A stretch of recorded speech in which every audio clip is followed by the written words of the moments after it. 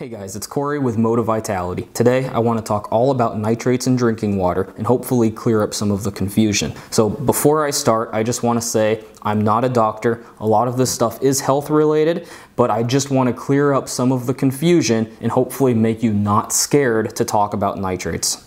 One reason nitrates are so scary to talk about is simply because it is health related. And elevated levels of nitrates can actually cause a condition called methemoglobinemia, which basically doesn't allow your blood to carry the oxygen it needs. Another word for methemoglobinemia is blue baby syndrome. So in with babies that have this condition, they actually turn blue because they're not getting enough oxygen within their body. So it can be a really scary thing to talk about for water treatment professionals.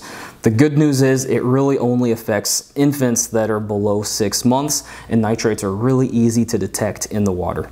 Another reason why nitrates are scary to talk about is simply because we hear about them on the news all the time.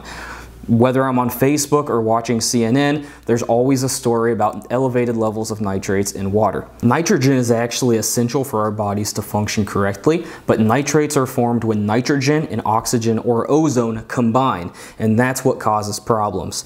Nitrates are actually pretty common and come from plant and animal waste as well as industrial smoke. Fertilizers actually have potassium and ammonium nitrate in them, and that's where most of the nitrates come from. So I live in Iowa, and if you don't know, we're actually known for corn, so we have a ton of cropland all around us, and we put a lot of fertilizer on the grounds.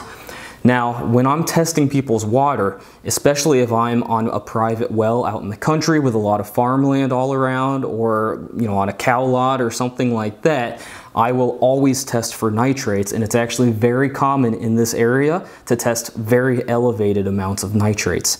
So, you know, it's not a big deal for people um, for the most part, but if you have a baby or, you know, an elderly relative living with you, that's when it becomes a challenge.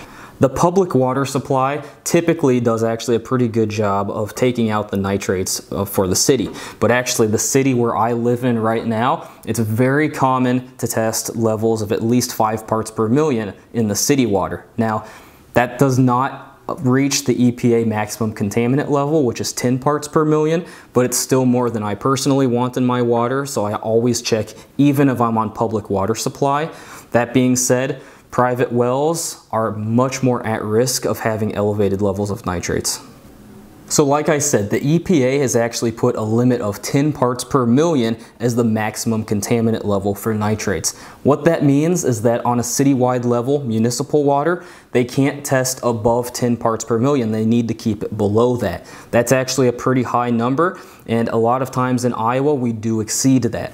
The good news is it's really easy to test for nitrates. There's actually two common ways to test for it. One is a field test, which can actually be done at the house. When I'm testing people's water out, you know, in a farmhouse in the middle of the country, I test for nitrates right there in their kitchen. I always let them know that because it's a health related test, if I detect any levels of nitrates to go ahead and get a lab test done. Now, lab tests are the second type of testing method for nitrates that are commonly done. And the reason I suggest them to get a lab test done is simply because they're a little more accurate than something that I'm performing right at the kitchen. Lab tests are always a good way to test not only for nitrates, but also a whole range of other contaminants that could be in the water. Not that they are, but they could be and I always recommend getting that lab test done. We actually at Moti-Vitality sell both types of tests. We sell a test kit that can be done just at your house. I personally recommend the lab test just because it tests for all those other contaminants, but it's totally up to you. If you want to test for nitrates or anything else in the water, feel free to check it out. So if you do decide to get a lab test done or just perform a field test at your house and it comes back with elevated levels of nitrates, the good news is they're super easy to take care of. Nitrates are not absorbed through the skin. So it's not always necessary to take care of them for the whole house. A lot of people choose only to take care of it for drinking water. So a reverse osmosis system is actually the easiest way to take care of nitrates when it comes to the drinking water. Now, they won't always take out 100% of the nitrate, so be aware of that. And every brand of reverse osmosis is rated to take out different levels of nitrates, but typically it's in the high 80s or the low 90 percentile.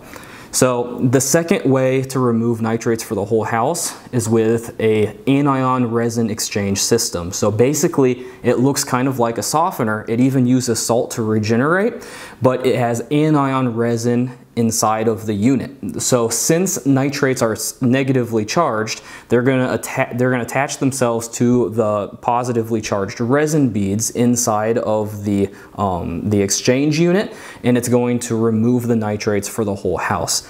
Again, sometimes that's overkill. Personally, I'm only concerned about the water that goes in me when it comes to nitrates, so I'm not too concerned about taking them out for the whole house. It's also a little bit cheaper to install a reverse osmosis system, and reverse osmosis systems uh, uh, work to remove a larger amount of contaminants from the drinking water. So again, nitrates are nothing to be super concerned about. If you have an infant in the home that's less than six months of age, an elderly person, or someone with a weakened immune system, you should definitely look into getting a test for nitrates. Even if you don't have any of those people, it's always a good idea to test for nitrates. The Water Quality Association recommends getting tested if you are on a private well at least once a year. Hopefully this helps clear up some of the confusion around nitrates. Please like and subscribe to this video and this YouTube channel as it helps us as we continue to create more informational content like this for both water treatment specialists, dealers, and just the public. So thanks again and don't be afraid of nitrates.